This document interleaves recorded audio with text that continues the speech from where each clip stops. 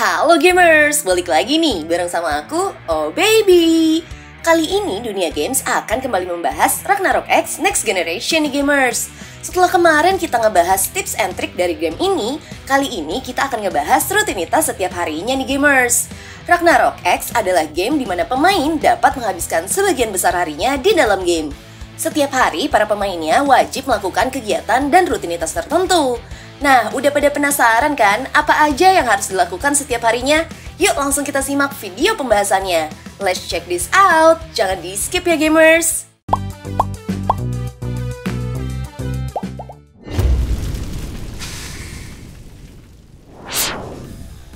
Hal yang pertama adalah isi stamina di air mancur Prontera.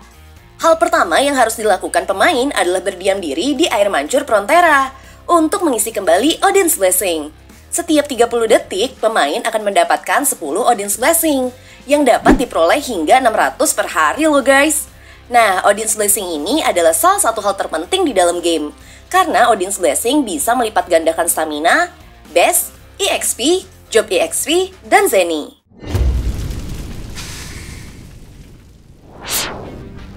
Hal yang kedua adalah kerjakan mission board.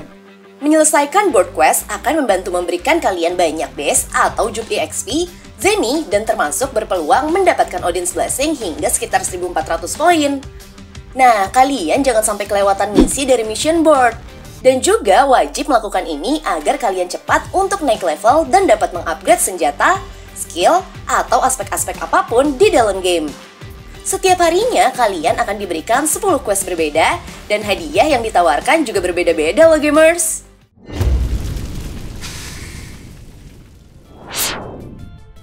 Hal yang ketiga adalah selesaikan quest di NPC.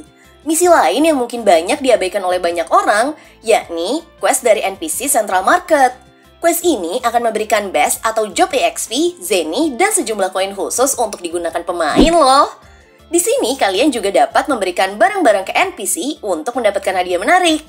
Namun, barang-barang gift NPC Ragnarok X Next Generation yang kamu berikan gak bisa sembarangan loh gamers. Karena jika kalian sembarangan memberikan hadiah, angka kebaikan ke NPC bisa aja berkurang.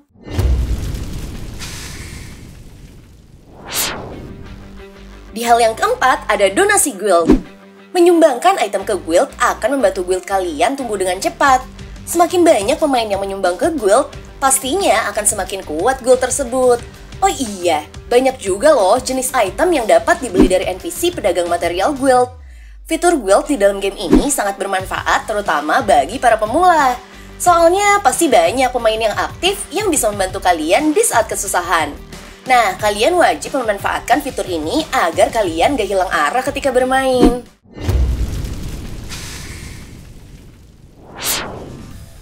Yang selanjutnya, join dalam event OX Quiz.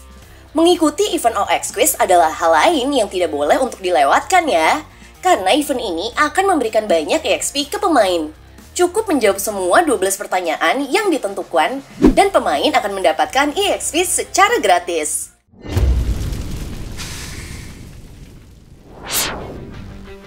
Hal yang keenam, gunakan semua Odin's Blessing. Nah, setiap harinya kalian juga perlu untuk istirahat guys. Alangkah baiknya kalian harus menyalakan fitur auto farming monster hingga Odin's Blessing habis, berguna untuk mempercepat kalian naik level.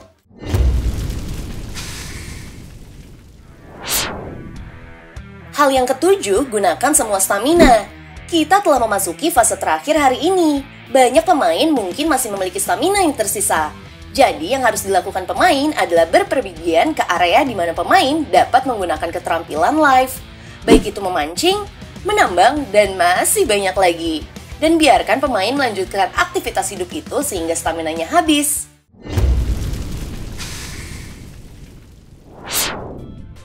Yang terakhir, masuk ke penjara bawah tanah. Hal terakhir yang akan kita lakukan setiap hari adalah memasuki berbagai ruang bawah tanah untuk mendapatkan banyak item khusus dalam game.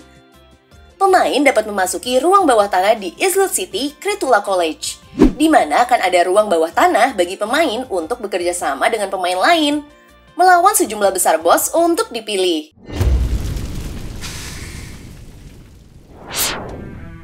Dan itu dia gamers, beberapa rutinitas yang wajib kalian lakukan setiap harinya di game Ragnarok X Next Generation.